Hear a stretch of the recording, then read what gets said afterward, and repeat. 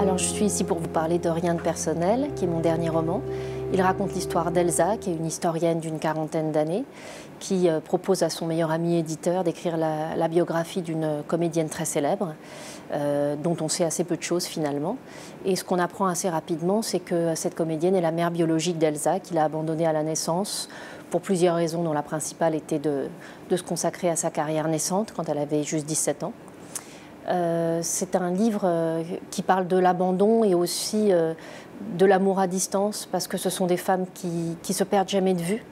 Euh, c'est évidemment une relation difficile, et c'est un sujet qui m'intéressait énormément. Euh, d'abord parce que euh, je me suis rendu compte que pour moi, il y avait une sorte de, faute qui me semblait irréparable. C'était les mauvaises mères ou, celles qui abandonnaient leur enfant. Et j'ai voulu imaginer un personnage de femme qui ait commis cette faute et qui ne soit pas un monstre pour autant. J'ai voulu raconter l'histoire de quelqu'un qui avait tout contre elle au départ et, qu'on allait finalement comprendre et apprendre à aimer, en tout cas je pense. Donc euh, c'est cette histoire.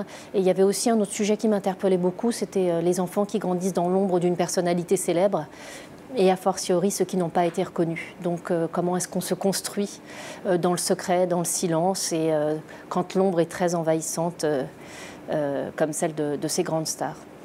Euh, voilà, c'est un livre qui me tient beaucoup à cœur. Je suis euh, euh, particulièrement touchée de l'accueil de la presse qui a souligné que c'était un livre qui s'adressait aussi bien aux femmes qu'aux hommes.